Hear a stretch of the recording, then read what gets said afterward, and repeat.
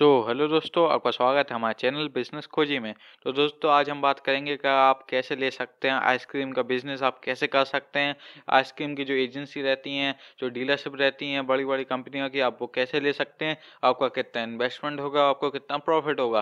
तो इस वीडियो को पूरे एंड तक देखते रहिए। तो चलिए दोस्तों आज की वीडियो शुरू करते हैं। तो दोस्तों जो सबसे पहली बात आती है कि आप आइसक्रीम का बिज़नेस कैसे स्टार्ट कर सकते हैं। तो दोस्तों, आज जो सबसे पहला ऑप्शन है कि आप कोई भी फ़ेमस कंपनी कंपनियाँ जैसी उनका डिस्ट्रीब्यूटरशिप या डीलरशिप लेकर कर सकते हैं।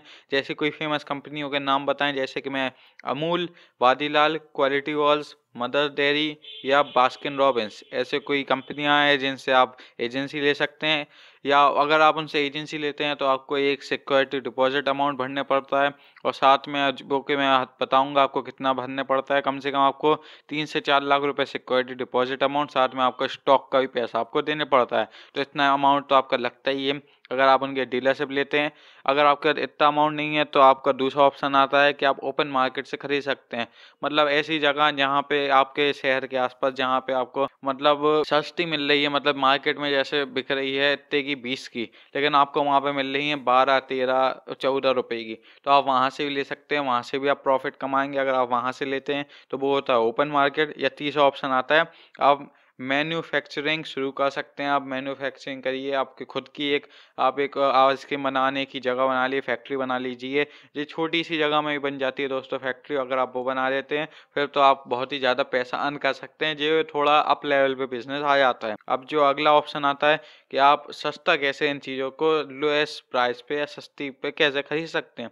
तो दोस्तों जो पहला पॉइंट है कि आप अपने आप आसपास की कंपनी या प्लांट से सीधा ले सकते हैं। जैसे आपको अगर डीलरशिप से लेना है, जैसे आपको पता होगा कि ये जो कंपनियाँ हैं, अगर इनकी आप लेंगे सीधा अगर पैसे लेंगे, वो डीलरशिप लेंगे तो आपको सिक्योरिटी अमाउंट भरने पड़ता है। लेकिन अगर आप इनकी कंपनियों के जहाँ पे प्लांट खुले हुए हैं, वहाँ पे अगर जाएँगे तो वहाँ से उनसे अगर लेंगे, आपको बस डीलरशिप नहीं लेनी है आपको बस माल लेना तो अगर आप वहाँ पे जाएँगे, आप कहेंगे हमें छः लाख का माल चाहिए, वो आपको छः लाख का माल दे देंगे। ऐसे आपको सस्ता पड़ता है, या दूसरा ऑप्शन आता है कि अगर आप इनसे अगर ले लेते हैं, इनका प्लांट ले लेते हैं तो आपको क्या क्या चीज़ों की आवश्यकता पड़ेगी दोस्तों?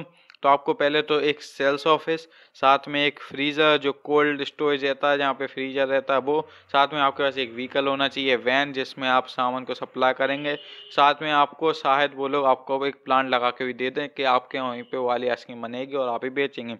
तो ये वाली चीज़ें रहती हैं। और इसमें आप दोस्तों एक और काम कर सकते हैं, तीसरा काम कि आप बड़े प्लांट से खरीद सकते हैं। अगर आप, जैसे मैंने आपको अभी बताया, जो भी आपके पास प्लांट है, ऐसे कोई लोकल भी प्लांट होते हैं, जो कि बनाते हैं आइसक्रीम कंपनी के नहीं रहते, उनका माल भी ले सकते हैं, उनका माल भी आप बेचेंगे तो भी आपको अच्छा खासा फ़ायदा हो जाएगा। अब दोस्तों बात करें इस बिज़नेस में कितना इन्वेस्टमेंट लगेगा तो दोस्तों इसमें जो अगर आप स्टार्ट करते हैं तो आपको कम से कम पाँच लाख से बीस लाख रुपए तो चाहिए पड़ेंगे उससे कम में तो आपको हो नहीं पाया क्योंकि बहुत से लोग कर भी लेते हैं, तीन चार लाख में भी, लेकिन वो लो क्वालिटी की आइसक्रीम रहती है, जो कि इतना कस्टमर पसंद नहीं करता है, इसलिए वो बिकती नहीं है। अगर आपको स्टार्ट करना है, कम से कम आपके पास पाँच छः लाख रुपये तो होने ही चाहिए, जब भी आप जो वाला बिज़नेस स्टार्ट करिए। साथ में आप बात करें कि आपको अच्छा प्रॉफिट इस बिज़नेस से कैसे कमा सकते हैं।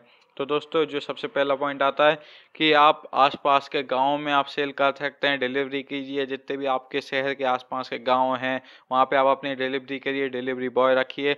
वहाँ पे आप करिए सकते हैं तो उससे आपको अच्छे सा, सा फ़ायदा होगा। या दूसरा ऑप्शन है आप छोटे सब डीलर जो हैं, जिनके पास इतना पैसा ही रहता है, जैसे मैंने आपको बताया, जो छोटे रहते हैं, उनका बजट रहता है कम से कम एक दो लाख का या तीन लाख का।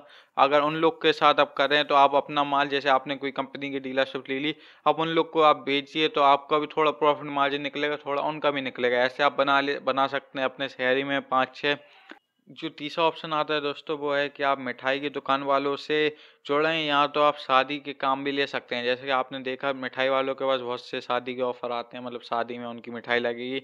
वैसा अगर वो आपसे भी कहेंगे कि आप अपनी आइसक्रीम लगवाएँ तो आपको वहाँ पे आप इतने से कम टाइम में, शॉर्ट टर्म में आप बहुत ही ज़्यादा मुनाफा उस चीज़ में भी कमा लेते हैं। क्योंकि शादी में आपको अच्छे खासे आपकी सेल हो जाती है आइसक्रीम, वो लोग आपसे इकट्ठा में ले लेते हैं। फिर आपको इकट्ठा पैसा मिल जाता है, उसमें भी बहुत ही ज़्यादा फ़ायदा रहता है। साथ में आप दोस्तों, अब बात करें इस बिज़नेस में कितना प्रॉफिट है तो दोस्तों, जैसे कि हर मैं बताता हूँ, ये हर में डिपेंड करता है उसकी आपकी खरीदी भी परचेज पे आप कितने की आप खरीदी करते हैं, उतने भी आपका फ़ायदा होगा। अगर आप कम पे खरीदी करते हैं तो आपको ज़्यादा फ़ायदा होता है। वैसे मैं इसका प्रॉफिट परसेंट बताऊँ तो प्रॉफिट परसेंट में ज़्यादातर लोग इंटरेस्टेड रहते हैं तो अगर वो मैं बताऊँ तो वो इसका बिज़नेस का थर्टी परसेंट से फोर्टी परसेंट का। आप तीस परसेंट से चालीस परसेंट तक इस बिज़नेस में बना सकते हैं पैसा। तो दोस्तों, मैंने जैसे बताया कि इस बिज़नेस में आप देखिए, हर बिज़नेस में थोड़ा कम रहता है। स्टार्टिंग परसेंटेज टेन परसेंट रहता है या फिफ्टीन ट्वेंटी परसेंट तक भी रहता है। लेकिन इसमें सीधे थर्टी परसेंट है, क्योंकि इसमें बिज़नेस में आपको फ़ायदा ज़्यादा मिल रहा है। इसलिए आप अगर सोचना चाहते हैं इस बिज़नेस को स्टार्ट करना तो इसे स्टार्ट कर सकते हैं। तो दोस्तों, फ़िलहाल इस वीडियो में इतना ही। अगर वीडियो पसंद आए तो वीडियो को लाइक करना चैनल को सब्सक्राइब करना, ताकि हम लोग ऐसी वीडियो लाते रहते हैं। Okay thank you